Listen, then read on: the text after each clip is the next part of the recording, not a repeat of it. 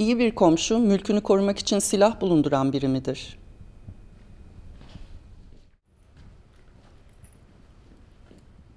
İyi bir komşu, sizin gibi yaşayan birisi midir?